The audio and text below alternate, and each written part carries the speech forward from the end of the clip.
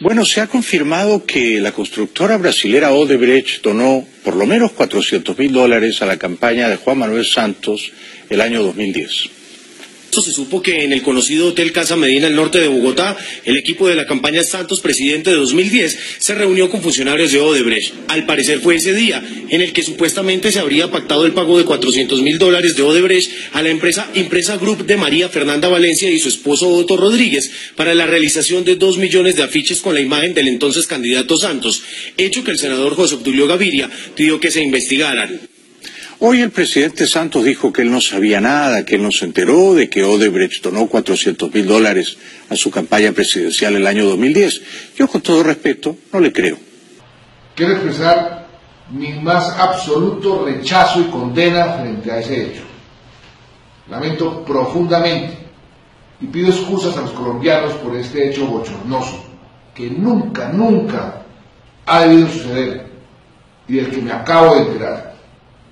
No autoricé ni tuve conocimiento de esas gestiones, las cuales se hicieron en directa violación de las normas éticas y de control que exigí se impusieran en la campaña. Pido a todos los involucrados que aclaren a la mayor brevedad posible esta actuación inaceptable.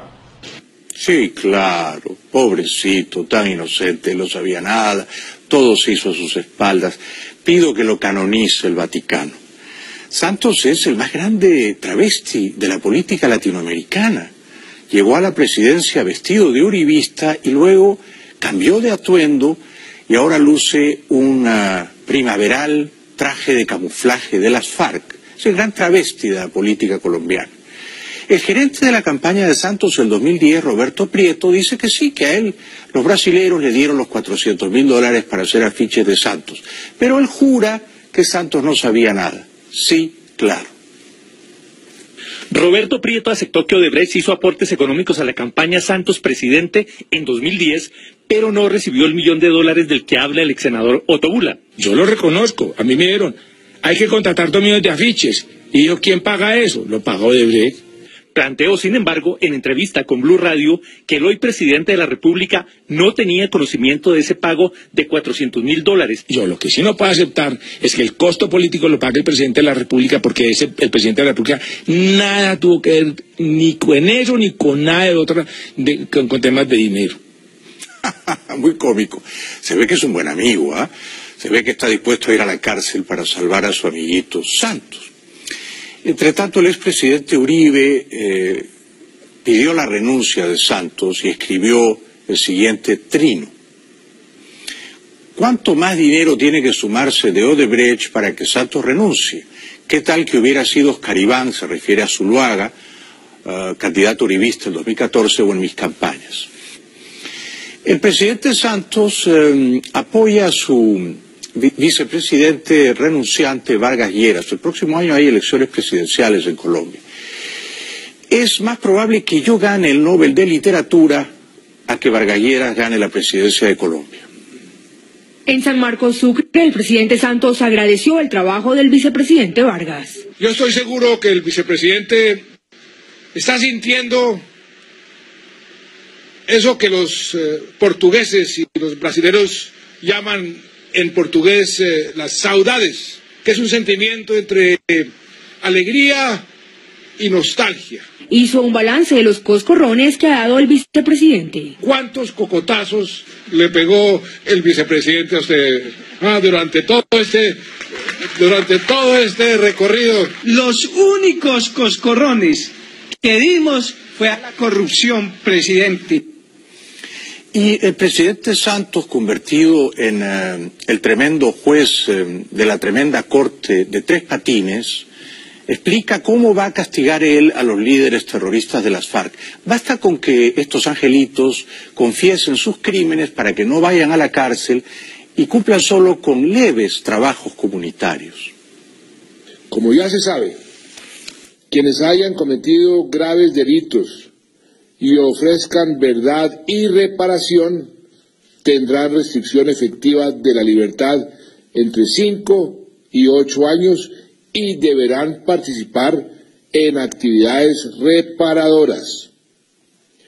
si ofrecen la verdad, pero lo hacen de manera tardía, esos años se pagarán con prisión efectiva. Y si no dicen la verdad, podrán estar sujetos a penas de prisión hasta de 20 años. Es la tremenda corte de Tres Patines. ¿Quién verifica que cada guerrillero o terrorista esté diciendo la verdad? ¿Cómo es posible cotejar esas afirmaciones verbales con los hechos ocurridos tanto tiempo atrás? Entre tanto, y para ir a, a, la publicidad porque viene la gran Wendy Guerra, lo que sí que ha aumentado en Colombia es el cultivo de coca y la producción de cocaína.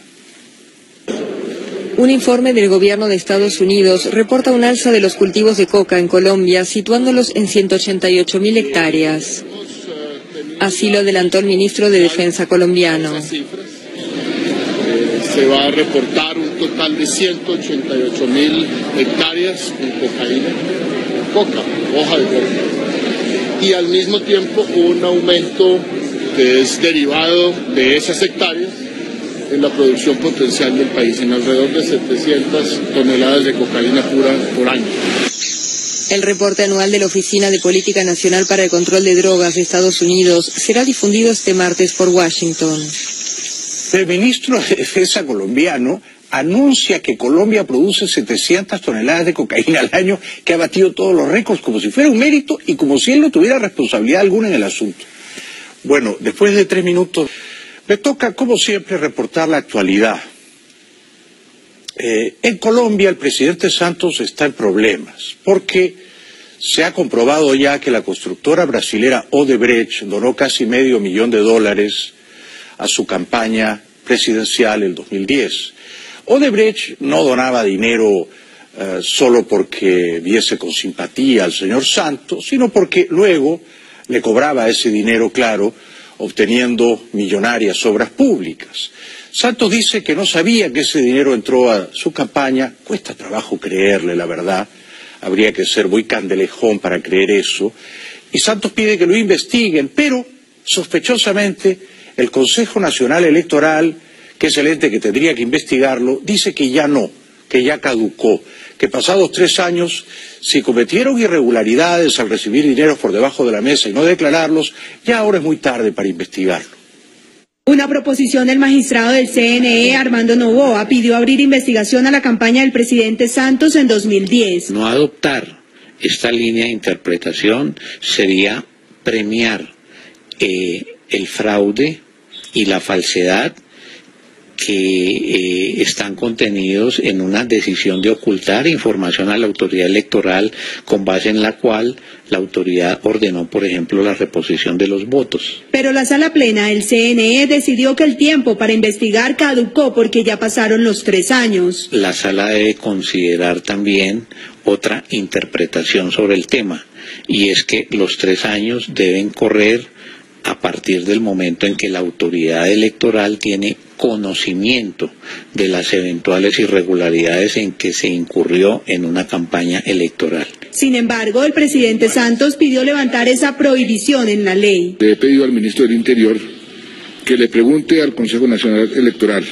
si la campaña del 2010, eh, todas las cuentas eh, ya están caducas y si se puede levantar esa caducidad. El Tribunal Electoral decidió no tener en cuenta ni la petición del magistrado Novoa ni la del jefe de Estado y por ahora no habrá ninguna investigación. Es un chiste, yo no le creo a Santos. Por supuesto que Santos tendría que haber sabido que Odebrecht estaba contribuyendo irregularmente con su campaña presidencial y por supuesto que no lo van a investigar porque en nuestros países la justicia no es del todo independiente y está casi siempre subordinada al poder político. Aquí el gobierno de Trump